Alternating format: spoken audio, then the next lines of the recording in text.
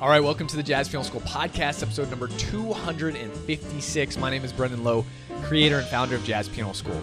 In this particular episode, I'm going to be analyzing a Bud Powell transcription, pointing out and highlighting new things, and hopefully at this point, you're going to start to realize and see the code to the matrix. And what I mean by that is when I start to point things out, because of the last four episodes I've done, if you haven't checked those out, definitely do so before watching this things are going to start to open. Doors are going to start to open. You're going to be like, oh my God, that's all he's doing here? I learned all of this. This is amazing, right? I'm going to point out all the things he's doing, what he was thinking, what he was intending. You'll obviously learn some new techniques as well that Bud's playing. But again, for the most part, it's really, really simple when I break it down for you. There's a couple key elements that you need to learn that are going to be in this podcast. And then after that, again, hopefully doors start opening for you and you'll be able to take this and use it in your own playing to incorporate the bebop language. If you haven't done so, definitely go to jazzpianoschool.com, check out all of our free education. And with that being said, let's dive right in. All right, welcome to the Jazz Piano School podcast, episode number 256. My name is Brendan Lowe, creator and founder of Jazz Piano School. Thank you so much for being here. So, this particular episode is going to be on uh, Bud Powell solo over a tune called All of God's Children Got Rhythm. And um, it's really, really cool. I mean, Bud Powell is one of the masters of bebop and obviously a jazz giant, jazz history influencer. Um, and really paved the way for a lot of amazing other amazing pianists and artists, jazz artists to come from his particular style and whatnot. But I'm the main purpose of this particular episode is going to be to really unify and demonstrate everything that I've been teaching you and showing you in the last couple episodes, the series on bebop. Hopefully, at this point, after you've listened back to all of these episodes, the string of bebop, you're going to be able to really start to see the matrix, as I like to see, right? If you've seen the Matrix, obviously in Matrix number one, at the very end of the movie, Neo uh, is kind of like seeing the code now of the Matrix, right? And so before, a lot of students may have looked at Bebop and been like, wow, this look, just looks like a lot of notes. I don't really know what's going on after you listen to the last four podcast episodes I've done on Bebop, hopefully now you can look at Bebop lines and be like, oh, wow, that's really what's happening here. That's what this person was intending to do. That was their thought process in the moment. That's what's happening. And you can really start to work on it in your own way too. And, you know, obviously, the more you understand it, the more it's going to translate into your own playing. And a lot of times, the issue that I have with so many people studying jazz or music, for that example, is that we just play transcriptions, and I did this a lot without really understanding them. And knowledge is power. Knowledge is power. When you can understand what an artist is doing, you're effectively going to be able to utilize it a hundred times better than if you were just to play it without the understanding or the knowledge of what's happening, right? So now that you understand what's going to be happening in this particular um, transcription that I'm going to be showing you, because you've learned it, you're going to be like, oh, wow, I get it. I understand it. I can start to practice it. I can use it.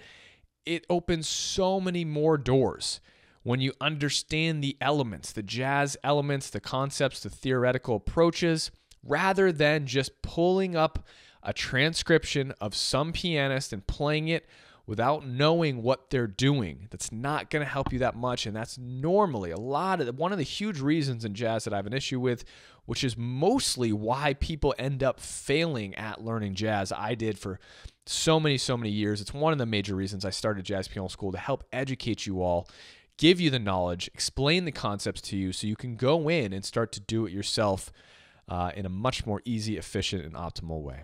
All right. If you're listening for the first time, we do have a membership available. Go to jazzpianoschool.com to check that out. And uh, obviously, we have a lot of free education as well podcast, blog, lick of the week, so on and so forth. And um, I think that's all I got for you today. So let's dive right in. Here we go. All right, so I'm going to be starting here at letter F, and obviously you have the image there available to you to start to follow along with. But this is kind of starting in the middle of the solo because I really want to highlight a lot of the lines that Bud was playing and the bebop approaches he was using. So, right off the bat, we have lots of two five one. So we have a two, five, two, five, two, five, one. Okay, so essentially we're going from B minor 7 to E7, A minor 7 to D7, G minor 7 to C7, down to the 1. So the way he starts to work at this, check it out. He's going to start from the root.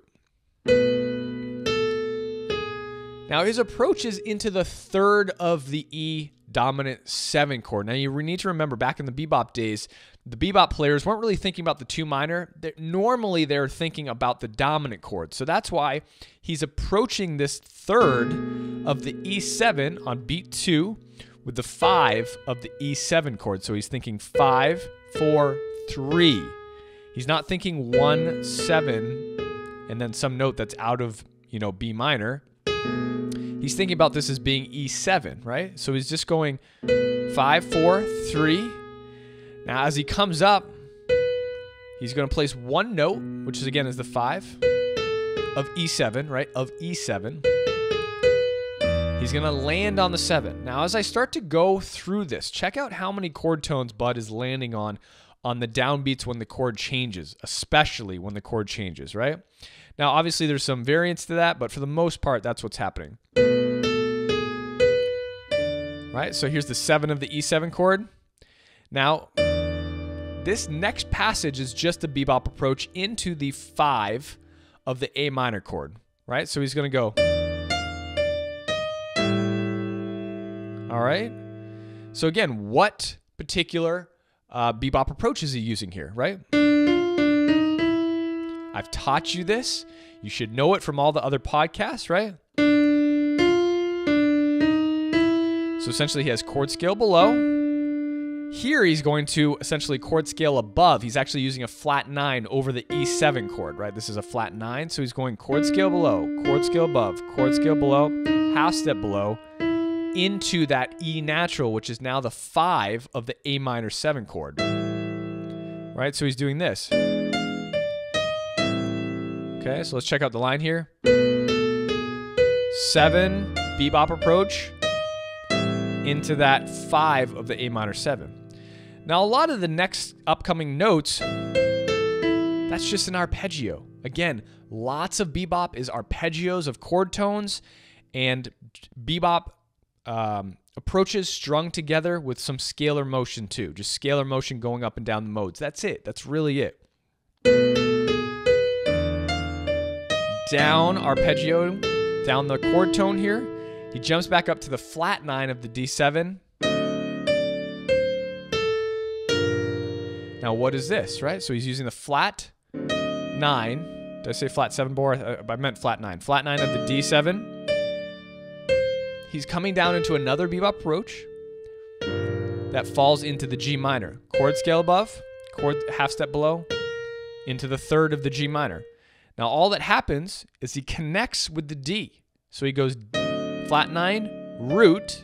He's just putting a note in between the bebop approach and the flat nine that he started on. Here's where the bebop approach starts. Right, so he has an arpeggio going down. Now again, more chord tone arpeggiation happening here. He jumps up to the 7 of the G minor 7. So what is that? That's just arpeggiation of the chord. 7, 5, 3. Now here what he's doing is he's going to fall into the 13, he's going to go to the 3, flat 9, 7. So, this particular instance of what he's doing, the conceptual idea of what's happening is he's taking more or less a chord, right? Which is this chord right here. So this is a very common chord actually in jazz where you have the flat 7, flat 9, 3, 13, natural 13.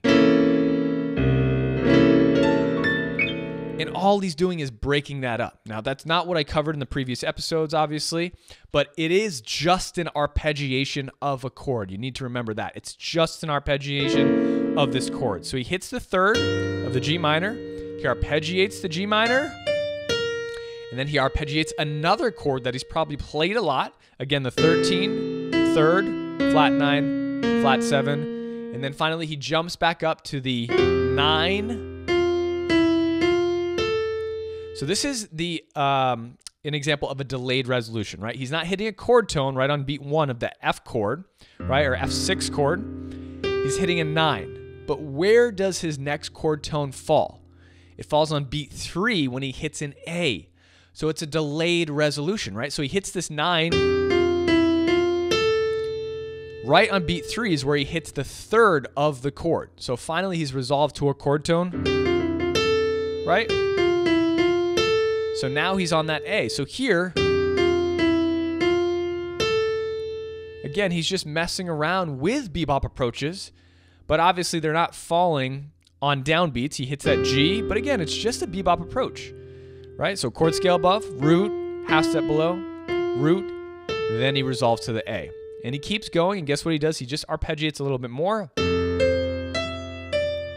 Right now, back in the bebop era, they weren't really thinking about major seven chords. Those, you know, there there were major seven chords, but again, most bebop players were thinking sixth chords.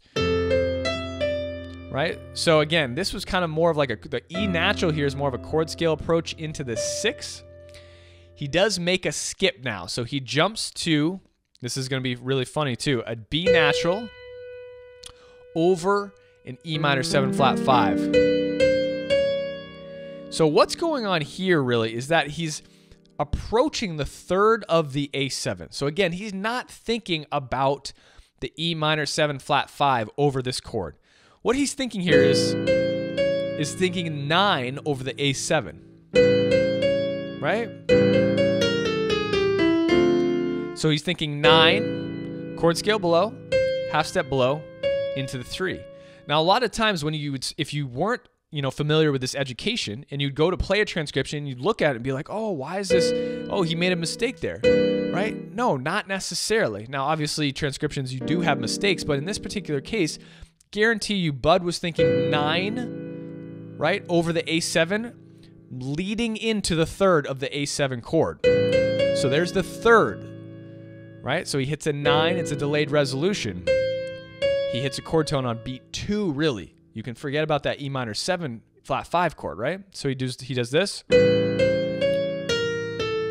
He leads back down into the root with the use of a flat nine. Very common bebop move is to use that flat nine to lead down into the root, right? root. Now again, the passing tone between the seven, the root, excuse me, and the seven is called a bebop scale. It's a bebop scale.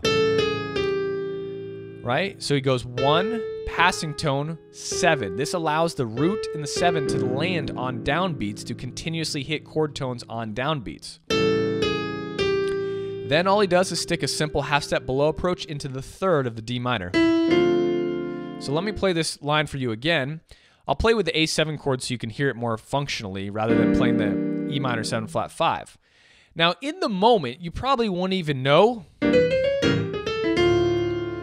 You, you can barely even hear the rub between the B natural and the B flat because because of the lead in to the harmonies he's playing over the A7 because it's going to A7 your ear is, doesn't even realize that there's a clash there right? Because it's leading into that A7. It kind of guides you into the A7 harmony. Sorry.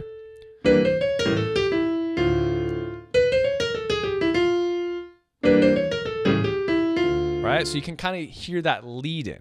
So again, slowly, half step below, lands on the third of the D minor 7, and he just goes, just jumps down to another chord tone. Again, you starting to see how many chord tones are actually being used in this. So he goes.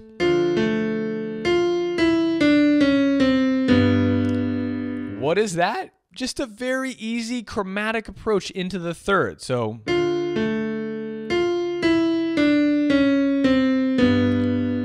Right? So once he hits this this D natural, right, on the downbeat of three, excuse me, on the upbeat of three, he just falls into chromatic approach down into the third. So again, from here, nine, root, chromatic,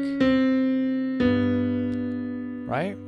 So just a couple chromatics to lead him into the third of the G7. Now again, more arpeggiation of chord tones. So this time, he just moves up a rootless voicing, which is very common. He'll go three, five, seven, nine, right? And what he does here again is put a half step below approach to get him into the third. So, right? Now here, What's funny about this is because he's not he's landing on the B flat actually, which is the downbeat, okay, of beat 3. So technically as he's doing this, right? You're having the downbeat and then this is on the upbeat. So again, all of these things can be played. Again, there's no is there's no hardened rule. Like 100% time you have to land on chord tones, right? But if you do get yourself or play a situation like this, essentially, you know, it's a delayed resolution of some sort. So So finally, the G natural is the next chord tone he hits on the downbeat. And you could argue a lot of this approach here, you know, leads you into that nine of the C7 here, right? And then finally, he hits more chord tones and lands on that G natural on beat two. So again, for the whole line for that G7 bar, and again, this is bar um, seven uh, from letter F from the uh, transcription here of the image that you're probably walk- watching along. Nine, seven, five. And then he just continues down the scale to get to the three. Right? Another common arpeggiated line with a little scalar motion at the end to resolve into the three. Right? So if it's not a bebop approach, it's probably an arpeggiation of some sort. If it's not an arpeggiation of chord tones, it's probably arpeggiation of some sort of voicing, like a nine uh, rootless voicing. If it's not some sort of arpeggiation, it's just scalar motion that's happening of the mode. That's really it. That's how bebop works right? Now, obviously, there's some extensions that are happening. So what happens here? jumps up to the flat nine. He goes to chord scale below, half step below, into the five of the one chord, right? And he has this cool little thing. So again, that's just the bebop approach right there. You have the flat nine, bebop approach, chord scale below, half step below, one, or excuse me, the five, which is a chord tone, obviously. Half step below, chord tone. Half step below, chord tone, five. Right? So let's walk back through all that slowly and start to really kind of put it together. So again, he starts on the root, excuse me, the five of the E7 chord. He's thinking five of E7, and he's going to move down to the third. Scalar motion, third, arpeggiation. Arpeggiation here right? Now he gets a B. Now he uses a bebop approach to land to move him into the A minor. So chord scale below, half step below, five arpeggiation down the chord tones, jumps up to the flat nine. He connects the bebop approach he's about to use with one note, the root, chord scale above, half step below, into the third of the G minor, jumps down, up, excuse me, to chord, more chord tones, more chord tone arpeggiation, lands on the 13 here, outlines a voicing. 13, 3, flat 9, flat 7, jumps up to the 9. Finally resolves to the third, right? Just uses a bebop approach here. 3, 5, 7, 6. Right? So again, more arpeggiation up to the 7 there, down to the 6. And then here, again, he's thinking nine of the A7 leading into the third of the A7. Right? Jumps down to the flat nine of the A7, root, bebop scale. So the bebop scale is the passing tone. Half step below into the third. Five. Okay, two chord tones. Takes a pause. So again, this is a nice little line over D minor to lead you into the third of the G. Again, he's just coming down the scale scalar mode. Adds in right a bebop approach there to get him into the third. Again, more arpeggiation of chord tones. Goes up to the nine this time. Okay, slides into the third with a half step below approach. Lands on the nine with the bebop approach. I think I'm gonna sneeze, but maybe not. Hopefully not. nine, seven, five. Again, more chord tones. Just a chord scale above resolution into that E. Again, you can think of it as chord scale above or just a scalar motion step. Jumps back up to the flat nine, more bebop approaches. Again, more bebop approaches, right? Half step below, third, half step below, root. Okay? That's where we're going to end today um, because I'm going to break this up into a couple of different parts to analyze everything that we've talked about. But again, what do you notice? He's using bebop approaches at the ends of the lines to connect chords.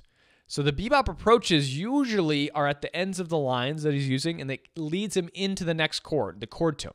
He's using lots of chord tone uh, arpeggiations and lots of different types of chordal arpeggiations too. So obviously, if he's going to arpeggiate, he doesn't just arpeggiate from the root. He usually might he might arpeggiate from the third going up to the nine.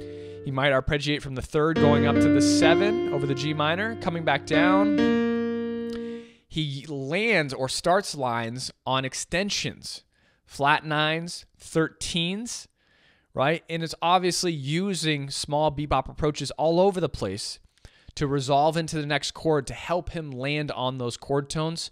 Because again, the chord tones is what emphasizes the harmony. They're the anchors of the chord, right? They're the chord tones. Those four notes literally produce the sound of the chord. So wouldn't it make sense to actually reflect those notes in your solo on, you know, prominent beats, meaning down beats when the chord changes? Absolutely it would. And the bebop approaches that I've explained in the last 3 episodes are utilized, right, to build tension and then resolution. Tension and resolution, right? To move through the harmonies. That's what bebop is, okay? So, again, play this solo, learn it, study it. I'm going to keep going over more parts of this solo, but hopefully that was really helpful. I hope, you know, after everything I've taught in the last four episodes on bebop, really the matrix is starting to open your eyes right now and you're starting to really be like oh my god this is it's really not that hard now playing it in a spontaneous fashion that's difficult that's a whole nother ball game how do we practice spontaneity how do we practice bebop approaches, scalar motion, arpeggios, so we can have it come out in a spontaneous motion? You know, there is a system, there is a strategy to doing that, but just the learning it and understanding it is key. It's your first step to being able to get your spontaneity happening, right? In your solos and being able to do this. Hope you guys enjoyed that. I'll talk to you soon. All right, well, I hope you guys enjoyed that episode. Don't forget to go to jazzpianoschool.com to check out all of our free, amazing education, all of the free podcast blogs. We do have a membership if you're looking to take a next step forward with us, get access to over a thousand different jazz piano videos, playbooks, mini courses, a main course curriculum, success path, and so much more. If you have any questions, feel free to email us at support at jazzpianoschool.com. I hope you have a wonderful day, and as always, happy practicing.